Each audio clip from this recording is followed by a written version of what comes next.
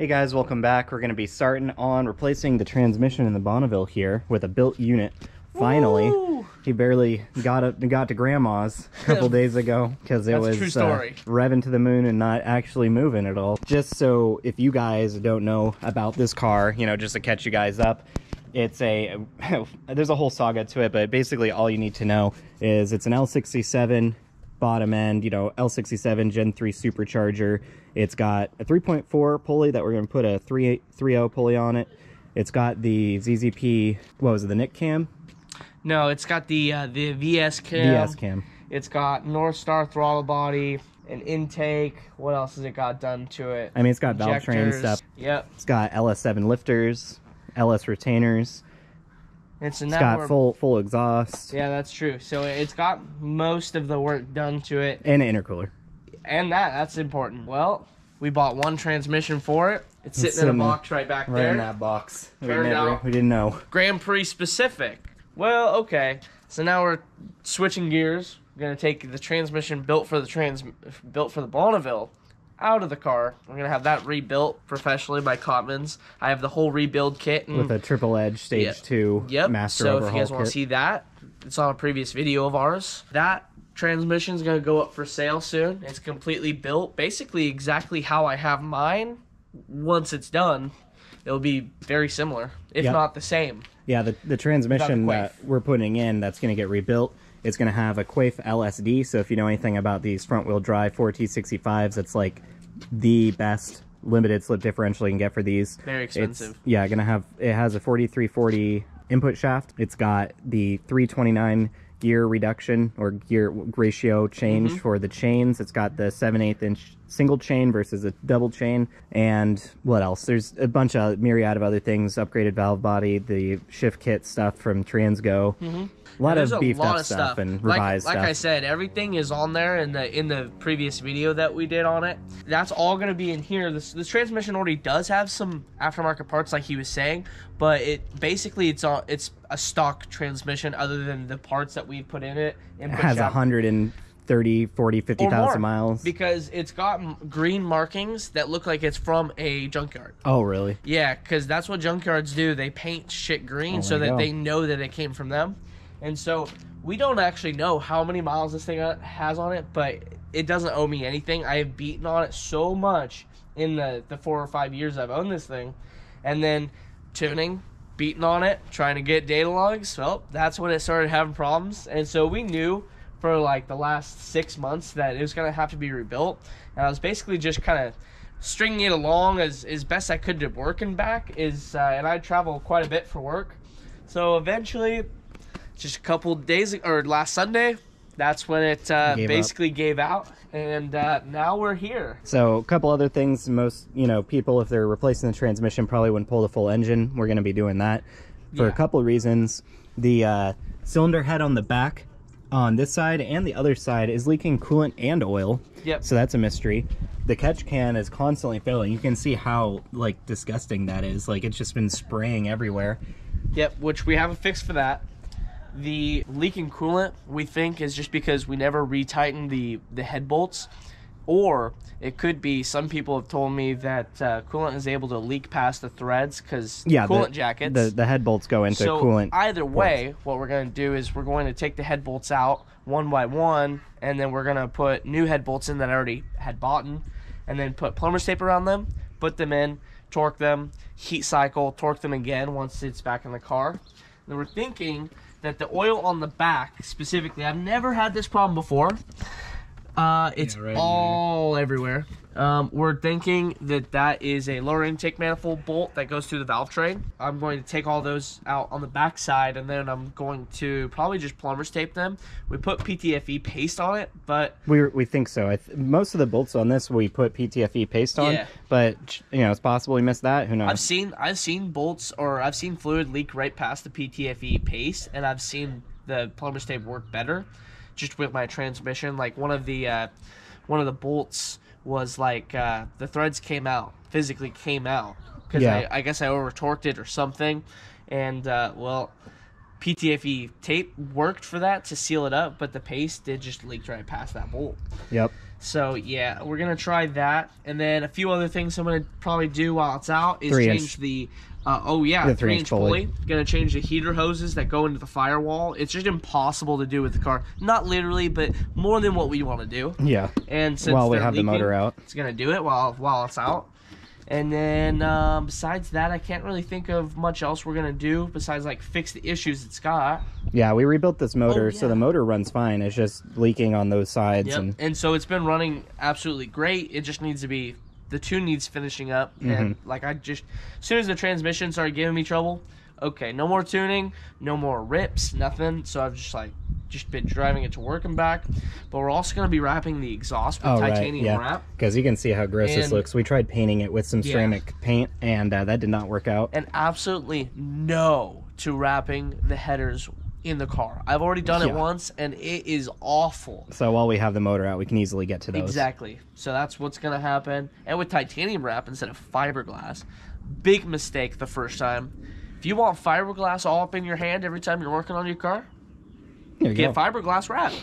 Yep, guys. So what we're probably going to do is we're going to start disconnecting all the electronics, lift the car, drain the oil, drain the coolant, uh, and then from there we can start taking apart. Possibly, we don't want to remove the intercooler. We're going to see about disconnecting the lines somehow. Uh, that might be a huge ass struggle and might not be We'll feasible. yeah, we will see. It's we just a always pain we to could always replace this. these lines if we need to, like That's true. completely. Just just cut them and and take them off. while the and motor's out, them. we can get that. But yeah, and then unbolt the exhaust under the, the under the car, unbolt the torque converter bolts, and then the motor mount. And I mean that's pretty much it. yeah, all the all the grounds, all the electrical connectors. the, yeah, I mean there's uh, accessories. You know, starter. unbolt, unbolt the AC Yeah. condenser, the power well the power steering pump. Yeah, take that off. There's it, we've we've gotten this down pretty well at this point. We've done this like we have done this this isn't our isn't our first rodeo here with the doing this, and we've we've done it pretty fast before. So yep, we're gonna let the car cool down a little bit while we disconnect everything, and uh, yeah, we'll start working on pulling this thing out.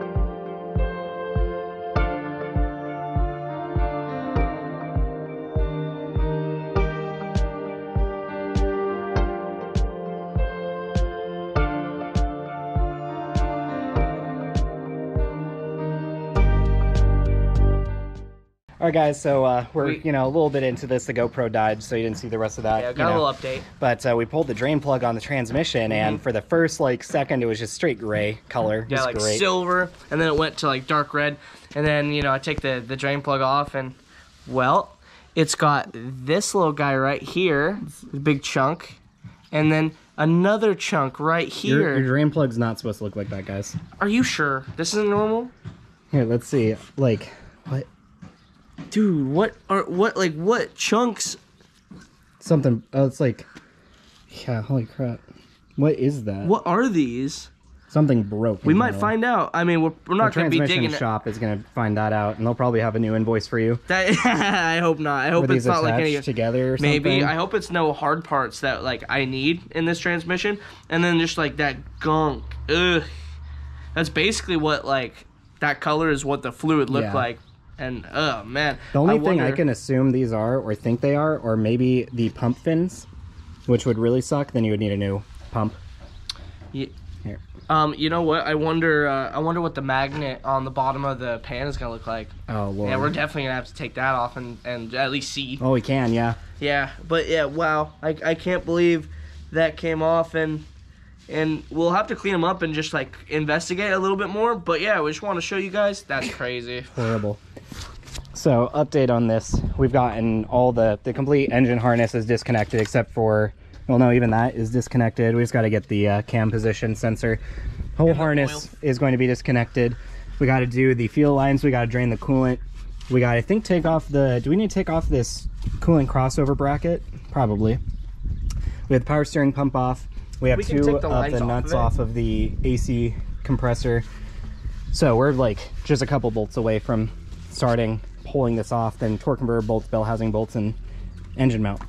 Yeah. Uh, And then we'll pull the motor. And then fuel like Well, exhaust. Uh, just Yeah, the, the rear exhaust, and then we have to overcome this thing. We don't want to disconnect. We don't want to remove the intercooler, so we're gonna try disconnecting from the junctions here. That'll be a struggle, and we'll dump a lot of coolant. I think. I should probably tell them that the reason why we can't just take them off of the intercooler um, Is there out stuff on inlets there? is because they're RTV'd on there because it will leak otherwise. And That's so also, one of the hose clamps is upside down, so we can't even do that. Like it's just no that's way. pretty bad. Yep, but we're making progress here and we're getting pretty close. All right, guys, another update here. We uh, found some more damage. So this goes to the coils and then the crank sensor and cam position sensor. And you can see the belts tore up. Oh my god, the GoPro doesn't fucking focus, but they're torn through just a little Yeah, bit. showing wires. They're still running, but we'll get that fixed. yeah, the car was running like a top, but you wouldn't be able to tell based off of this. All right, guys, we're back. I didn't show the uh, time lapse I said we're going to do, but we are going to pull the motor here soon. We got the uh, intercooler lines undone. They were a lot easier to disconnect than we were expecting. We did the gas lines and no, dripped no gas on, on anything, which is awesome. Got the rear exhaust off. We have, there's probably like one or two things that I forgot to mention that we did that we had mentioned previously. Not a big deal. All we have left are the bell housing bolts and the front motor mount. So we're gonna get the engine stand up here, secure it so it's kind of holding it. Then we can do the bell housing bolts, motor mount, and this thing's ready to completely come out. Uh, oh, we gotta take the hood off because that, that'll hit the hood. But that's really it, and then we'll, we'll have it done. I mean, it's been really, really quick process.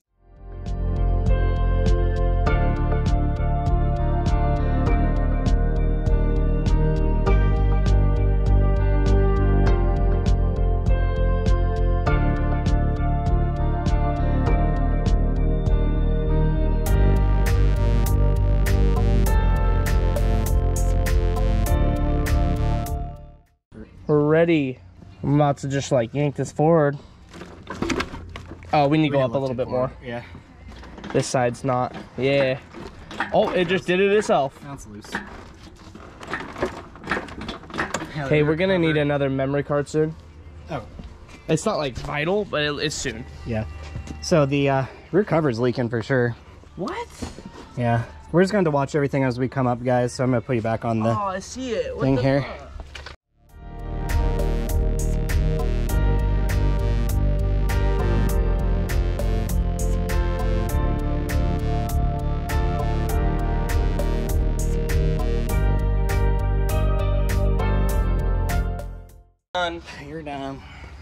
Oh my god, dude. Oh my god. What did you do? Yeah, I pooped. What did you do? Pooped and peed a little bit. This transmission did not look like that. No. Did not. We collected all the Yeah. fluid. All right, guys. I'm not sure what you saw. The SD card got full actually from all the stuff we did, but boom, there it is, the big boy. It is, uh, you know, leaking everywhere. Very interested to see where the oil was coming from from this side. The oil leak from the rear here, like what was that all about, you know?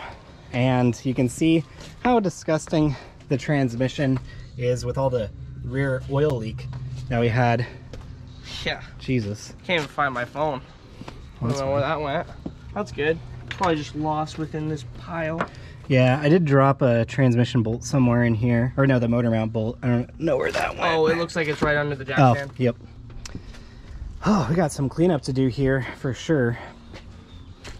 Where the hell did my phone go? I wanted to make an Instagram story. Oh, we'll, we'll have time for that. But Now, if now, I don't find my phone. now we got to go get our engine stand and bolt this up to it. Uh, probably take off the. Yes. It looks like. Well, I was saying that it was leaking from back here. It Maybe- literally is. Yeah. Damn. But then again, like, Oh, I what the came hell? in. That's weird. Oh, that's what? Our, that's like RTV? something. Oil mixed with RTV? Oh, let's turn Oh, off this music. There we go. Copyrighted. Yeah, that's paste. So maybe it was just this leaking that leaked back there, you know? Yeah. And then it's Straight up Ew. so bad. it's leaking right along this edge where the gasket is. Yeah, gasket could be the cylinder head gasket or the the cylinder head bolts. Yeah. Oh, I know. Oh, Yeah, we're gonna take this off, and this thing's gonna get a thorough cleaning. chocolate milk. Give me five bucks I'll do it. I'll do it for the video. We'll need to uh, probably go ahead and uh, not right now, but take out the exhaust. Just unbolt the V band from down there, the O2 sensors. I wish it had a V band. Oh, it does. An actual V band? Yeah. Yeah, you bought this thing with a V band. No. Yeah. No. It can't be. This doesn't. This is a slip-on. I wish it were. Oh boy, this has been this has been a you know a thing Eventful. eventful. Yeah, but this thing's out, guys.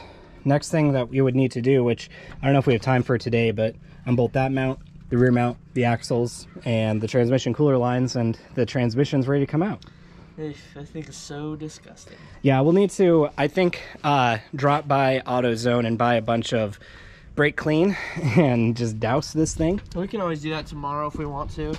Yeah, just clean up everything just so it's easier to touch and manage. Oh, it's 413. Okay, yeah, we got to clean up then. But yeah, everything, uh, I mean, everything came out smoothly, I'd say. Uh, smoother, yes. I feel like we had an easier time with this than what we did installing the rear upper control arm on my Mustang. We were just talking You're about that. We, right. In the video when we're doing it, Tristan's like, you know what? I think we have an easier time pulling the drivetrain on my car. I'm like, probably. Yeah, it was hell. All right, guys, we took the flex plate off and just look how disgusting that is. It's all just caked on oil from the leak up here down. I don't think the back cover was actually leaking at all. I think it was just all dripping down from this side, which is, uh, you know, pretty bad. I also checked in here because I sus- suspected that the uh, intake air temperature sensor we put in might have been causing the oil leak, but there's literally nothing back there that would be spraying oil that I can see. I mean, it's actually dry in there where the sensor is. So that's up to some further investigation, I guess. So we're gonna go ahead and get the mount on here so we can get this rolled out of the way and we can clean up our tools and put the hood on.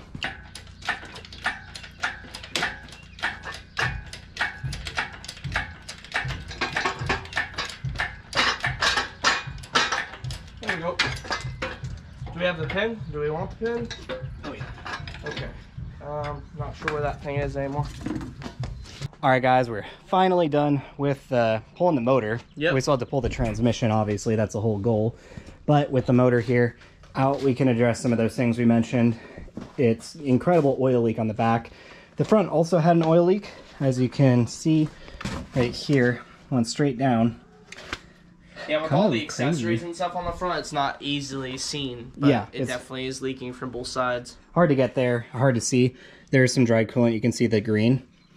And we're also going to, you know, try to fix that. So retorquing the heads. We got new head bolts that Tristan had ordered.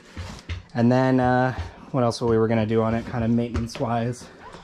I think Um, there was one other thing we had talked about. change the heater hoses out. Yes. Um, maintenance wise, I'm not sure what else. Yeah, else. nothing else really. We had the uh, the the exhaust wrap. PCV.